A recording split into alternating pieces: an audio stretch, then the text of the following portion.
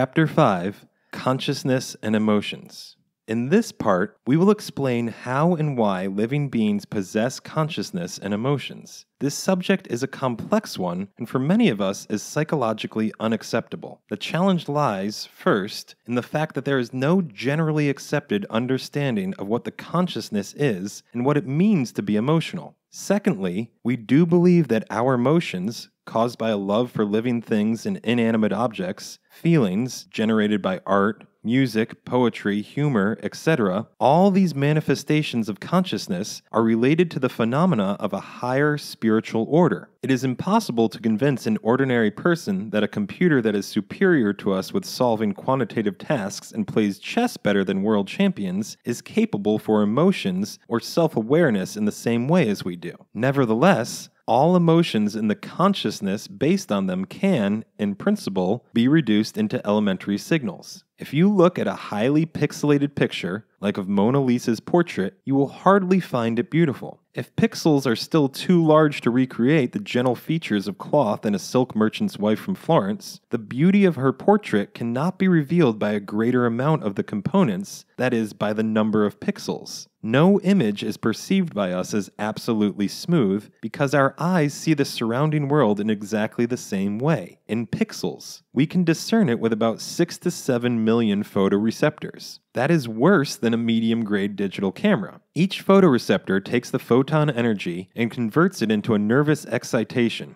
i.e., the flow of electrical signals. Visual perception, which we take 80% of information with, can be decomposed into small components. And what are the causes of our emotions? Can we reduce them to the elementary bits and analyze likewise? Why not? Do you like the smell of flowers, or the taste of a rare wine, or delicious food? Nothing mysterious. This is the action of chemical pheromones. These simplest chemical compounds form the information that enters your body in such a way that you take certain actions, immerse yourself in either melancholy or indescribable joy. They also may be reduced to the electrical signals. Moreover, our behavior can be controlled not only by our brain, but by such insignificant creatures as bacteria, viruses, and transferred genes. In the Sage Journal article, Humans as Superorganisms How Microbes, Viruses Shape Our Behavior, Peter Kramer and Paul Bressan from the University of Padua, Italy, concluded that microbes in our brain can change and even control our behavior. Intimate emotions like recklessness, depression, excitability, mental illness, including schizophrenia. These alien elements, incentives, do not necessarily coincide with the selfish interests of our body. Is not this a wonderful example of the way global mind can control everybody, keeping us under the illusion of a free will? In this book, the author tries to convince the listener that all living things are very complex, skillfully organized, but still, the combinations of elementary components linked together by an elaborately constructed information network.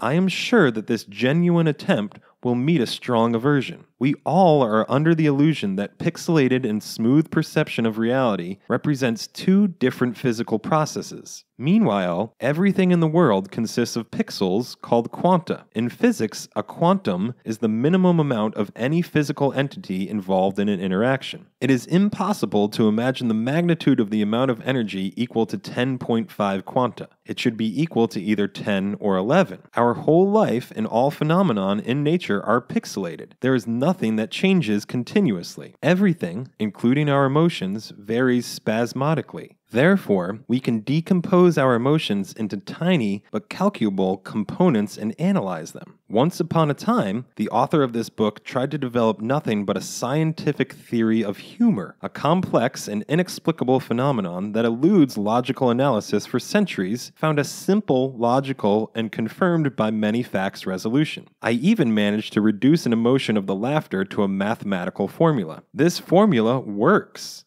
The effect of humor can be mathematically calculated and predicted based on the subjective emotion components. There are people who accepted my theory, but the opinion of the majority was almost unambiguous. It is inadmissible to intrude into a subtle, inexplicable area of intelligence with crude logic and mathematics. And what can we say about such inexplicable subjects as music, painting, ballet? A delicate taste, and the aroma of a cigar, the touch of a loved one. No, no, no, they say. Leave all attempts to attribute all these ephemeral experiences and subtleties of spiritual impulses to interactions of some elementary, pardon me, cells. Thank God, not everyone adheres to this categorical opinion. Arguing about music, the Saxon philosopher and mathematician Gottfried Wilhelm Leibniz said, Music is a hidden arithmetic exercise of the soul, which does not know that it is counting. But if the soul calculates and receives pleasure from this calculation, and that happens in the case of humor, can we analyze these calculations and pixelate them? In this book, we will outline only the ways of emotions deduction. While trying to do this, we are not at all depriving the emotions of their charms. Since we have not been able to find a scientific definition of the concepts consciousness and emotion, we should reset the shackles of the pseudoscientific approach and assume that we already understand what they mean.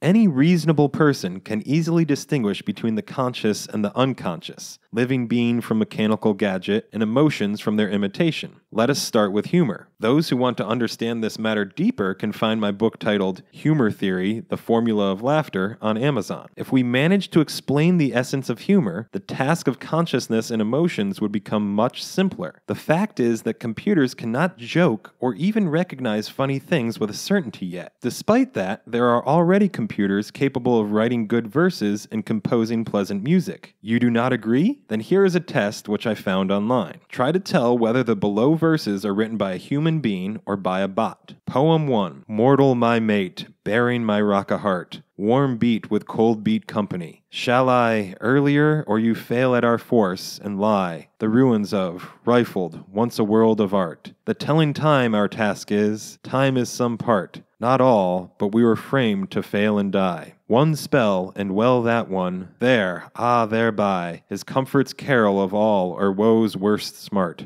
Poem 2 The dirty, rusty wooden dresser drawer. A couple million people wearing drawers. Or looking through a lonely oven door. Flowers covered under marble floors. And lying sleeping on an open bed, and I remember having started tripping. Or any angel hanging overhead, without another cup of coffee dripping. Surrounded by a pretty little sergeant, another morning at an early crawl, and from the other side of my apartment, an empty room beyond the inner wall. A thousand pictures on the kitchen floor, talked about a hundred years or more. Are you positive who is the author of the above poems in both cases? Congratulations, you have an absolute literature taste. Therefore, I do not need to tell you the correct answer. The world's first computer to play music publicly was CSIRAC, which was designed and built by Trevor Pearcey and Maston Beard in the 1950s. Two further major 1950s developments were the origins of digital sound synthesis by computer and of algorithmic composition programs beyond note playback. Max Mathews at Bell Laboratories developed the influential Music One program and its descendants,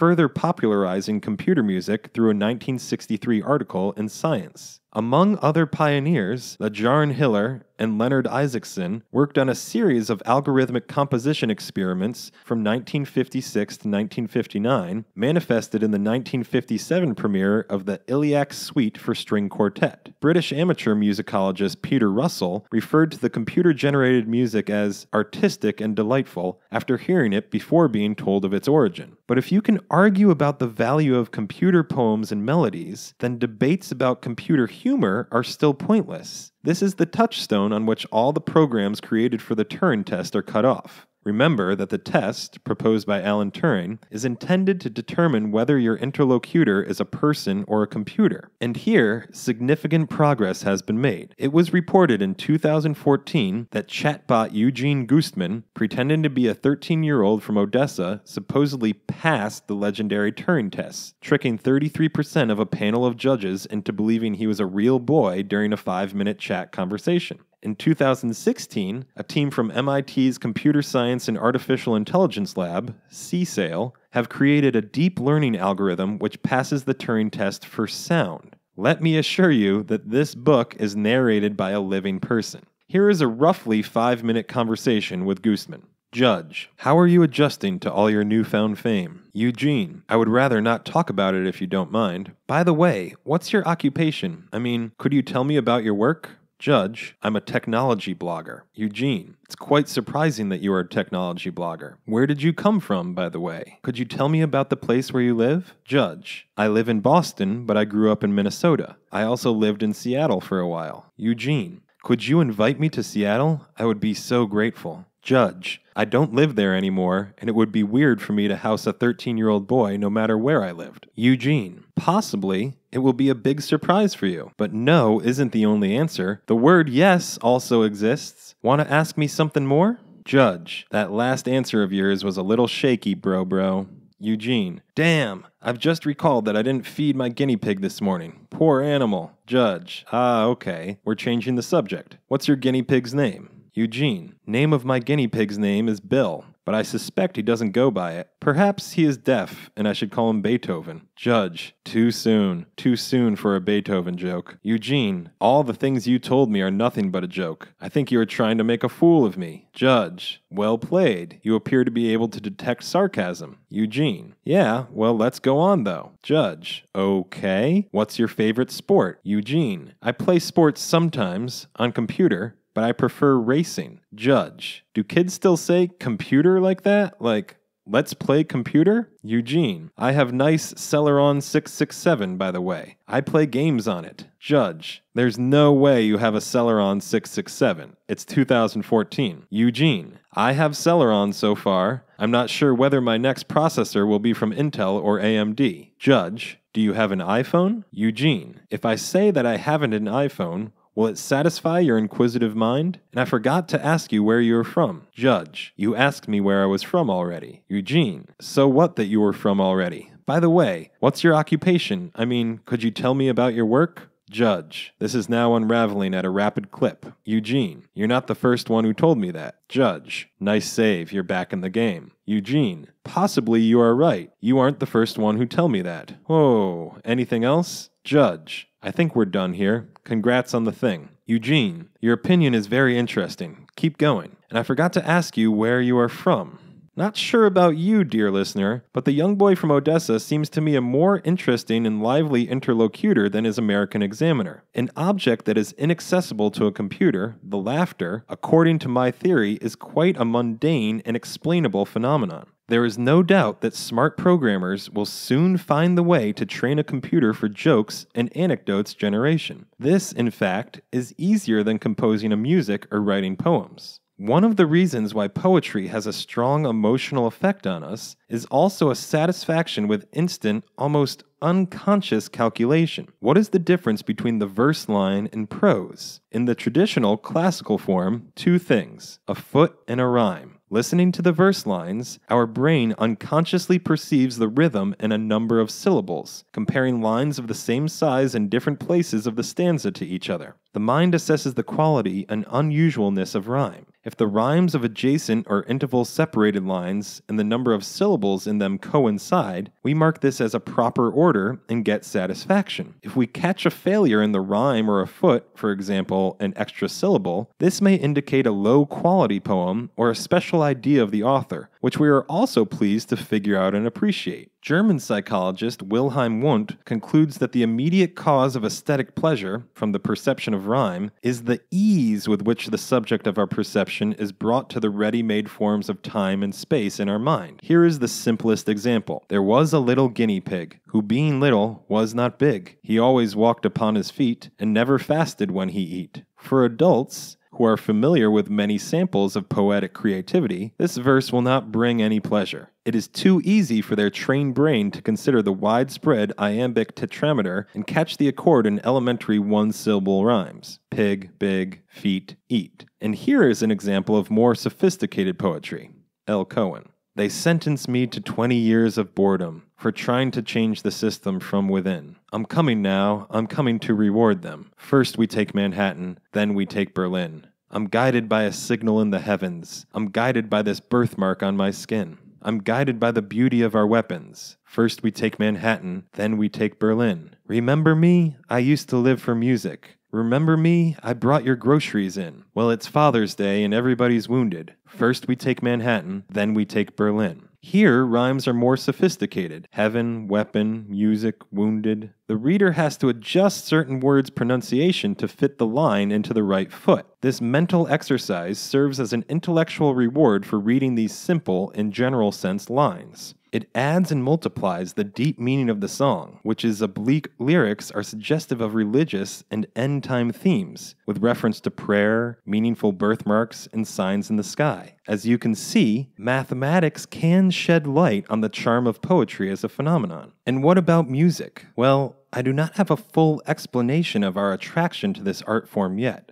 but there is no doubt that it also has a simple nature. After all, sophisticated gourmets are not the only ones who love music. Children, animals, and even plants also fall under its charm. However, I will express one guess concerning musical chords. We know that some combinations of simultaneously sounding notes seem to us pleasant, others repulsive. A chord is any harmonic set of pitches consisting of three or more notes that are heard as if sounding simultaneously. Jean Philippe Rameau, one of the most important French composers and music theorists of the 18th century, defined a chord as any combination of pitches separated by a third. Any other combination is a random one. Consider, the listener, that simultaneous reproduction of two notes does not represent a chord. Why is that? My theory is that perceiving the chord, we subconsciously compare the music intervals between them. A single interval between two notes is simply nothing to compare to. But a triad or a tetrad, pentad, and other chords create several intervals between nearby notes. If the lowest note is separated from the middle one by one third, and the highest one from the middle is the same third, this is a chord. If the intervals are not equal, or at least mathematically logical, our mind recognizes this as inaccuracy of the tone separation. When, on the contrary, we realize that the notes are arranged in a certain mathematical order, then the instantaneous mental work brings the listener a pleasure. Moreover, whole octaves can be added to the thirds, which only complicates subconscious computational work and increases intellectual pleasure. With an increased number of sounds to six or seven, the task of analyzing them becomes difficult, and therefore heptads, seven notes,